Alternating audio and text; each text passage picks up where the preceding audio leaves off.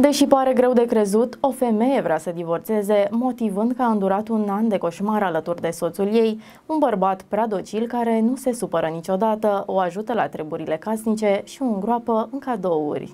Conform mesajul.ro, mă simt sufocată de iubirea lui extremă, i-a declarat femeia judecătorului. La un an de la căsătorie, o femeie a depus actele de divorț la un tribunal din Emiratele Arabe Unite, plângându-se că nu mai suportă dragostea și afecțiunea soțului. Fără regrete ca să-i facă pe plac, soțul a mers până într-acolo, încât a urmat o dietă strictă și și-a rupt piciorul la sala de sport, după ce soția remarcase că s-a cam îngrășat. Mai mult, el o ajută la treburile casnice, gătește și îi cumpără nenumărate cadouri. Însă, deși are parte de soțul ideal, femeia se simte agasată de aceste lucruri. Ea a mai spus că viața lor de cuplu este un iad, deoarece niciodată nu au un conflict. Tânjesc după o dispută, dar este imposibil cu soțul meu extrem de romantic, care trece cu vederea orice lucru greșit pe care îl fac și zilnic îmi oferă cadouri. Ba chiar mă ajută la curățenie, deși eu nu-i cer să o facă. Eu am nevoie și de discuții în contradictoriu, nu de o viață plictisitoare alături de un bărbat obedient. Mă simt sufocată de iubirea și afecțiunea lui. Se arată în documentele depuse de femeie în instanță. Nici măcar faptul că soția sa a cerut divorțul nu l-a enervat suficient de mult pe bărbat, care doar l-a rugat pe judecător să respingă cererea. Nu mi se pare corect ca un mariaj să fie judecat după primul an. Toată lumea învață din propriile greșeli. Întotdeauna mi-am mi-am dorit să fiu un soț bun, drăguț și atent, a spus bărbatul. Tribunalul a decis amânarea pronunțării pentru a oferi cuplului șansa de a-și rezolva problemele, relatează mesajul.ro.